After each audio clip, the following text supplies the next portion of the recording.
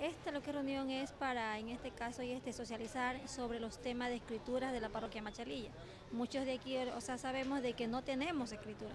Entonces aquí estamos lo que socializando y hay gracias también porque han, digamos, venido y este, personas que ha enviado el este señor alcalde para y este, seguir con este trámite. En este caso hemos hecho esta petición para que, para que mediante el este consejo y este municipal este, más bien este, revisen sobre ese y este 10% que digamos se les cobra sobre cierto este, plusvalía y lo que es alcábalas. En este caso es que se este, vea eso sobre lo que es o esta ordenanza, lo otro es de que se vean también este, digamos este, ciertos terrenos que están o sea, en lo que es este, malas condiciones y lo otro es que cuál es el este perímetro urbano que digamos eh, ver que tiene cada uno de los barrios. Estamos eh, muy contentos porque tenemos la conversación con el alcalde. Antes esto no se daba y ahora sí, digamos, estamos trabajando GAT parroquial con lo que es ICAT este municipal. Por eso es que se mantiene lo que es reuniones con todos los presidentes barriales